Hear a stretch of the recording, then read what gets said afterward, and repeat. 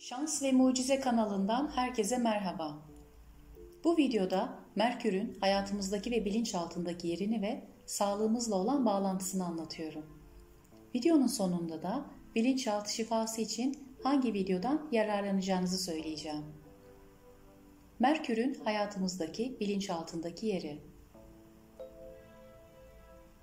Öğrenme konusundaki istek ve yeteneği anlatır.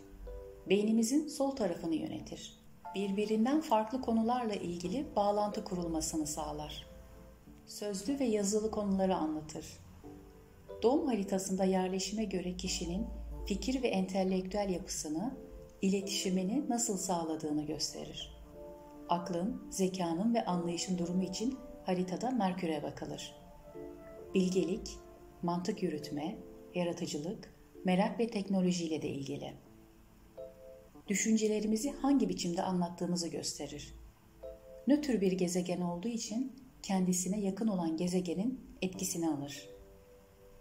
Büyü yapmaktan istatistiğe kadar tüm bilgi türleriyle ilgilidir.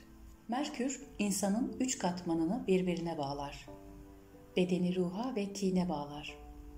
Merkür'ün haritadaki olumsuz yerleşimi biraz önce söylediğim konularla ilgili problem yaşatır haritamızda olumsuz yerleşimde olduğunda hangi hastalıkları yaşama riskine sahip oluruz?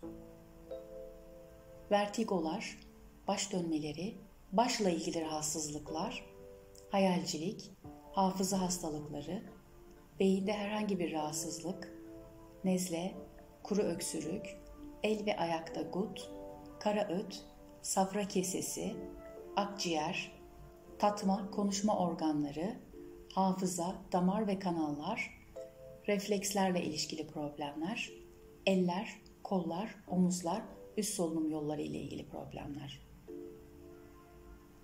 Evet, bu videoda kısaca Merkür'ün hayatımızdaki etkisinden bahsettim.